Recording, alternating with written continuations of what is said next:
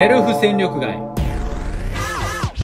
セルフ戦力外。それは FA 宣言するもどの球団からも声がかからず。元の球団とも再契約できないためまるで戦力外を受けた選手のような境遇に自らを追い込んでしまう状況のことを言います。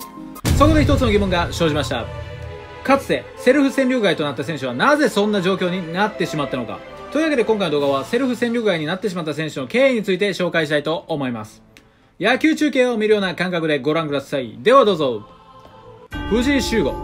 日本ハムに在籍していた2009年は先発ローテの一角として7勝をマーク。チームのリーグ優勝に貢献しました。そして同年11月9日移籍を前提とした FA 権の行使を表明。藤井は長年野球界の先輩方が作り上げた権利ですし自分も資格を満たしたことで深く考えた末に行使するという結論に至りました。新しい可能性といいますか選手として投手として高いレベルを求めていきたいと思いますと話しました。ランクは人的保障の必要がない C ランク。当初は貴重な先発左腕としてどこかしらの球団が手を挙げると思われ阪神横浜広島が興味を示すもなかなか声はかからず。C ランクで計算できる選抜なのに声がかからないイコールなんかあるといった藤井個人に何かしらの問題があるのではと噂されるようになります。そして時は過ぎ、藤井以外の FN 宣言した選手は続々と移籍先が決まっていく中、藤井はサンスポの取材に応じ、まだ他球団からのオファーはありません。連絡を待っている状況ですと、厳しい現状を報告。日本ハム側も再契約を否定したことで、一時は所属先がない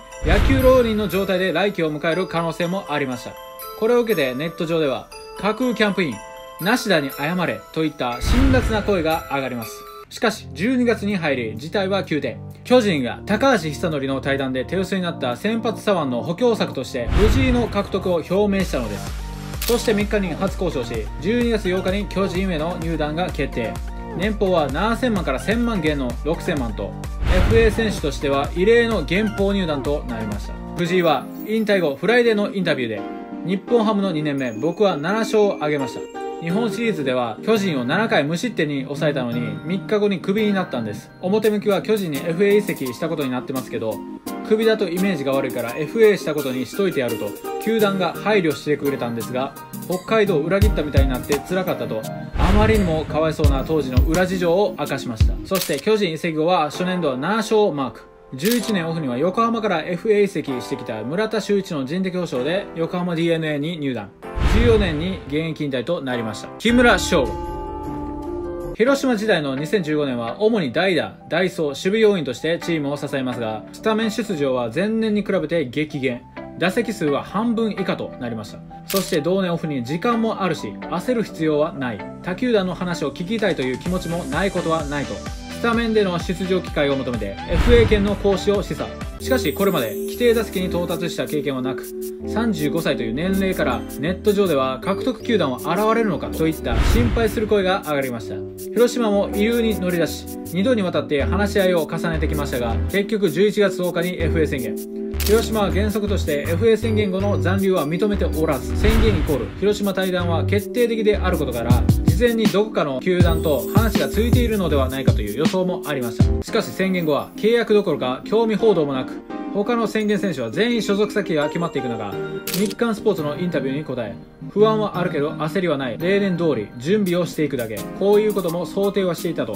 講師から1ヶ月経過したこの時点で全く進展がないことを明かし球団の入りを断ってまで宣言した経緯や木村の FA 後の言動状況がまるで戦力外通告を受けた選手のような状態であったことからネット上でセルフ戦力外という言葉が新たに誕生しました。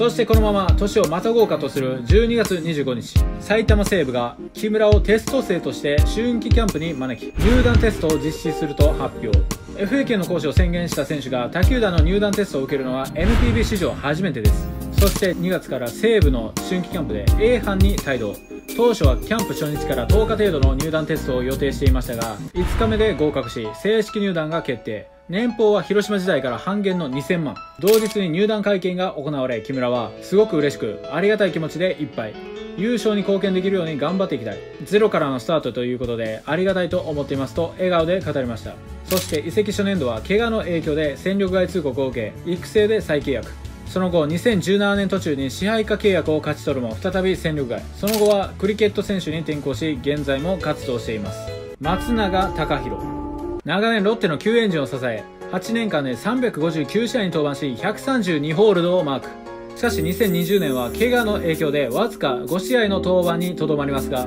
同年オフの12月3日に FA 宣言。松永は他チームの評価を聞きたいというのが一番。自分で得た権利なのでそれを使いたいと思ったと話しました。しかし左肘の状態に対する不安や人的保障が発生する B ランクであることがネックとなり FA 講師1ヶ月が経過した1月21日現在になっても興味報道すらありません。一方ロッテ側は宣言残留 OK としているものの12月26日の報道で松永は現時点でロッテから具体的な条件提示は受けていない模様。松永は周囲にロッテからの条件を聞かないで答えを出すわけにはいかないと話しているといい。長期戦が予想されています。これを受けてネット上ではセルフ戦力外や西武が拾うといった松永の FA 講師を疑問視する声が上がりました。しかし松永の FA 講師について元ロッテ里崎氏は自身のチャンネルでこう語っています。あの松永に関してはですね、まあ、僕も嘘つけないんでね情報を